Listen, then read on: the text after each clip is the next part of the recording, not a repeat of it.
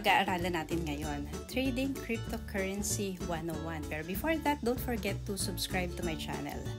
So this uh, afternoon, uh, this is what we're going to discuss.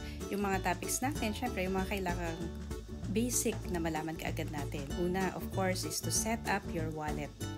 And then, you have to set up your trading account. And, of course, do your own research. Yan yung lagi nating sinasabi na dapat hindi yung basta nakapanood ka lang sa YouTube, gagawin mo na. Of course, uh, you have to do your own research. Hindi ka basta maniniwala sa kahit sino na nakapanood. So, eto. Um, first is you have to set up your wallet. So, ano ba yung mga wallet na yan?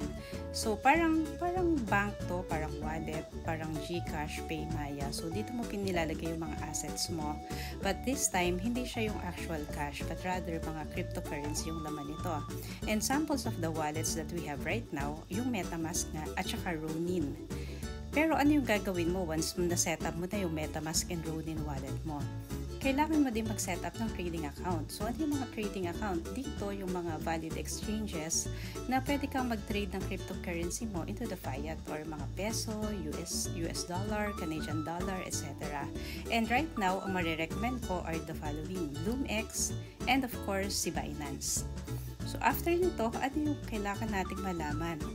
So, may mga wallet ka na, meron ka na ding trading account. So, ang next step of course is dapat meron kang ipang fund dun sa mga sinetap na wallet. So, either magdi-deposit ka sa bangko or magdi-deposit ka through different wallets like as I mentioned earlier, Gcash, Paymaya, Coins.ph.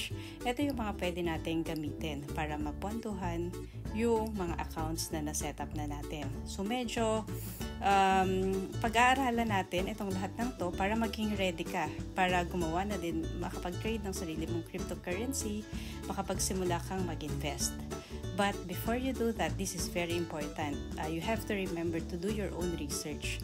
You have to watch YouTube videos, pero hindi basta nakapanood ka lang. You have to exercise your judgment din. Kasi wag ka basta maniniwala sa sinasabi ng lahat na kumita ng 17,000 in 3 days.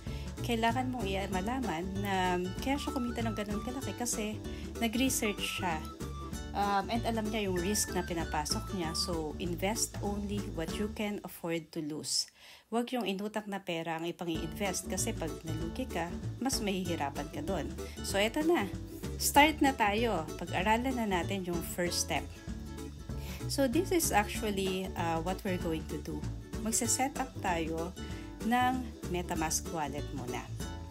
So, first, we're going to look for the valid extension. Make sure na ang ginagamit mo ay Google Chrome. Uh, this one, um, type mo lang, search mo, Google Chrome extensions and then lalabas na kaagad dyan yung Chrome Web Store. Make sure that it's the valid website. And then here sa Web Store, uh, search for MetaMask. Now, dito sa extension na to, uh, make sure na tama yung nag-o-offer. So, si metamask.io, tingnan natin, madami siyang review. Uh, tingnan natin kung may mga ibabang hacks dito. So, mukhang mga legit naman yung naka-load ngayon dito. So, https metamask.io plus, take a look, meron siyang 7 million plus users. So, this is the valid wallet. And you can see here on the overview, ito yung mga screens na makikita mo once mag-create ka na or um, makapasok ka na at magkaroon ng sarili mong MetaMask wallet. So, since we're sure that this is legit, we just click Add to Chrome. And then MetaMask can read and change all your data on the website you visit. It will display notifications and it may, may modify the data you copy and paste. So, these are just some reminders and we click Add Extension. So, now it's running. So, yan. Makikita natin checking. Yung next step, makikita nyo, napakasimple lang niya, di ba? So, maglo-load na ngayon si MetaMask. Malapit ka nang magkaroon ng sarili mong MetaMask wallet. So, this will be your connection to the Ethereum and the decentralized web. So, click Get Started. So, kung bago ka sa MetaMask, ano yung gagawin mo? Of course, you have to create a wallet. Uh, yes, let's get set up. Ito yung pipiliin natin. And then, at these are just some reminders that's very important for you to read. always allow you to opt out via settings. Yan yung ginagawa ni MetaMask. And anonymized click and page view events. It will never collect the keys, addresses, transactions, etc. or any personal information and never collect your full IP address and it will never sell data for profit ever. So, having read this, alam na natin na safe and confidential yung information that we're going to enter here. So, we click create. So, ang una, you have to define your password. So, when you do define a password, merong reminder dito, dapat at least 8 characters yon. And to have a very strong password, it's recommended na meron kayong capital letter, small letter, um, special character, and numbers. And of course, dapat at least 8 characters yon. And don't forget, syempre, kung ano yung password na ginamit mo dito. And then click, I have read and agreed to the terms of use, and click create. So yan, it's now setting up your wallet. So after you click that, papakita muna sa'yo ni MetaMask. Uh, these are some reminders kasi madami tayong nakikita sa Facebook, sa YouTube, sa news that may mga nahahack na wallet. So that's why dito makikita nyo sa video na piniplay ko ngayon, naka-indicate dito yung mga security na dapat mong gawin para protektahan yung data mo. So, naka-indicate dito, meron kang recovery phrase na makukuha na yun yung parang master key mo to your wallet and funds. Since ikaw yung master key na yun, Kapag nawala mo yon, walang ibang makakatulong sa'yo kahit si MetaMask. So, dapat ingatan mo talaga yung secret recovery phrase mo na yon. And ito, the things that I'm highlighting on the screen, these are the things that's being recommended para uh, ma-safe keep ang iyong secret recovery phrase. So, should I share my recovery phrase? Never. So, yun yung sagot ni MetaMask. Pag may humingi, definitely scam yon. So, don't ever give anyone your secret recovery phrase. Okay? That's why it's called secret. So, write it down, hide it somewhere, put it in a safe deposit box. Huwag pipicturean kasi pwedeng mahack yung phone mo, makukuha na din to. And then, eto makikita natin, laging naka-indicate dito, secret, secret. Paulit-ulit yan. Kasi nga, dapat hindi natin sasabihin to kahit kanino. So ngayon, ano na to? Ito nire-reveal ko to kasi this is just a test wallet so that I can share with you and run through you kung paano talaga siya ginagawa. At ang mapapansin nyo dito, meron siyang 12 words.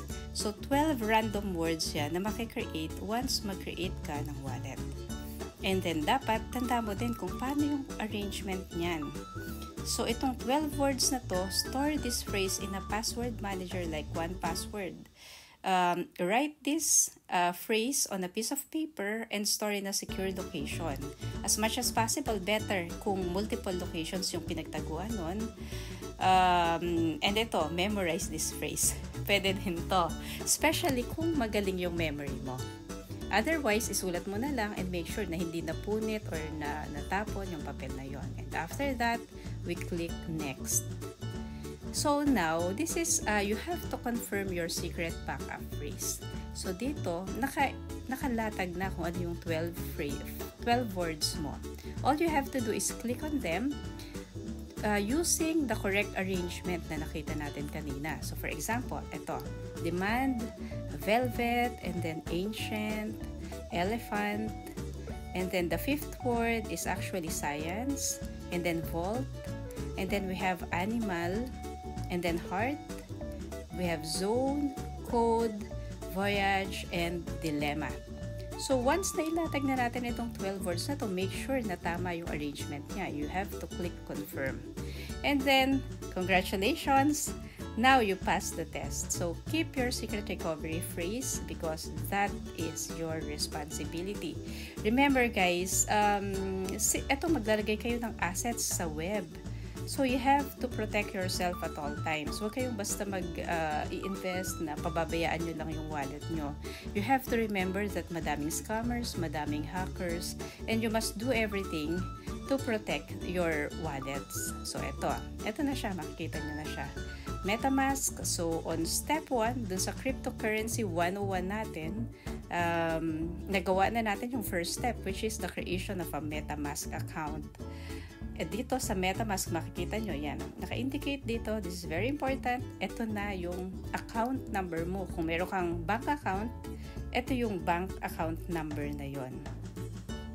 And then, after that, um, ito yung pag magpopondo ka, i-click mo lang yan and automatically makakapi na yan.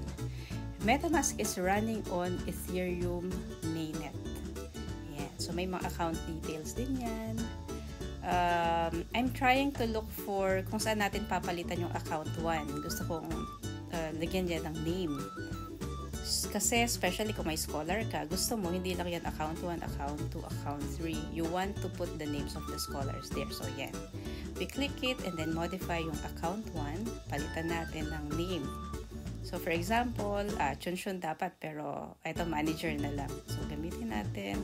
Oh, main account na lang yung gamitin natin para hindi naman manager. And then click the check button and then when we close it, automatically you will see main account na yung pangalan niya, hindi na yung account 1. Ayan. So congratulations, meron na kayong MetaMask wallet. So guys, a reminder, um, yung next videos, we're going to I'm going to teach you about the Ronin wallet creation. Thank you!